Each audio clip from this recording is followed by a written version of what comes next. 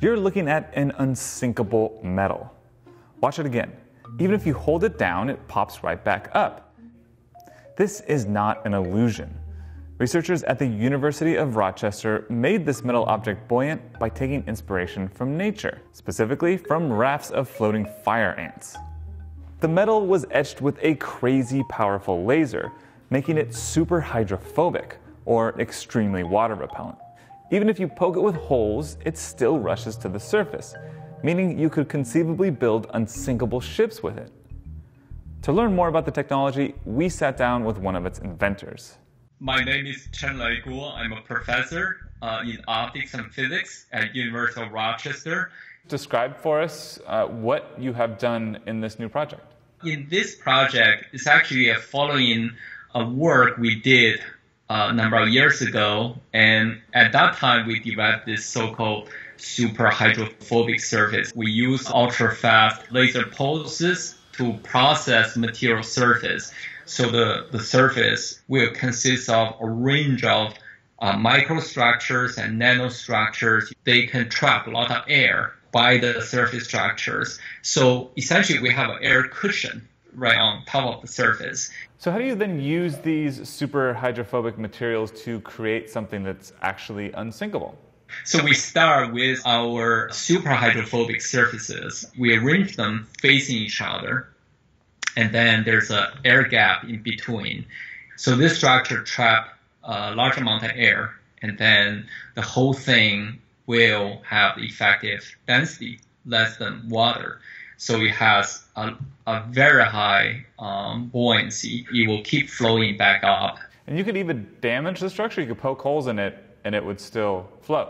Yeah, absolutely. The, the reason for that is if you puncture the surface, it's only that part will, will, the water will come in, but the surrounding area will still, the super hydrophobic property will still keep the water off. The remaining sections and they can still flow. Therefore, in principle, you can puncture as many holes as, as you want. You can reduce this to zero and the, the structure will still be able to flow. And my understanding is that you had some inspiration here from nature. One type is diving bell spiders. The other type is fire ants. The common feature is they both have some super hydrophobic body surfaces. For the spider, they live their entire life underneath water, but they still need to breathe air. So what they do is they periodically come to the surface and then and then use their hydrophobic body to grab some air and then trap the air. And underneath the water, they will breathe into this water, this air bubble, so they can live underneath the water. And for fire ants, so all the fire ants has also have this uh, super hydrophobic uh, body surfaces. They grab onto each other and form a raft. And this raft will keep them afloat because the large amount of air trapped um, between their body surfaces. So, is this thing actually unsinkable? This structure, from the extensive experiments we have done, is unsinkable. And as long as we keep this integrity of this metallic structure, and you will not be able to push it down. Of course, if you rip open the the metallic structure, the super hydrophobic surface is sinkable. Okay and you you can easily push down the superhydrophobic surface. We did experiments with submerges, forces submerged for two months, and as soon as you release the load, it's drawn back up again. You know, we, we haven't had time to test it for, you know, permanently yet, but based on the, all the evidence, everything pointed to is, is extremely highly, highly flowing. Can you walk us through what kind of laser you used here to etch this metal um, and how it went about creating this super hydrophobic surface?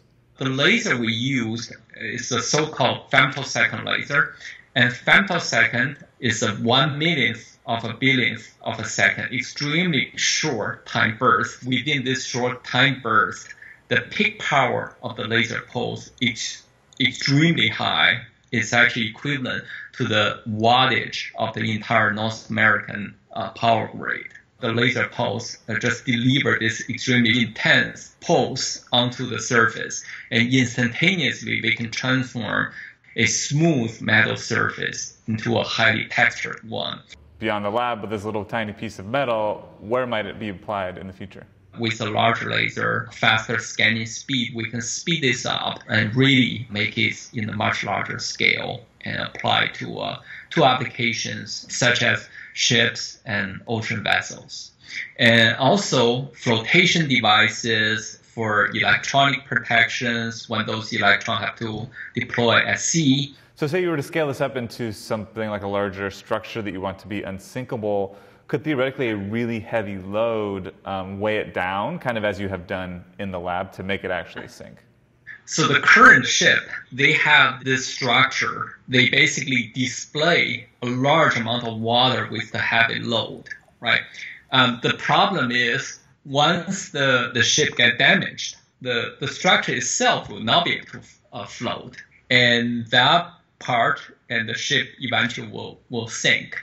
Our structure, we can also make the ship whole with our metallic assembly and we still can benefit the same uh, loading capacity. We still can make the same shape, but the difference is if there's a damage, the metallic structure itself is able to survive.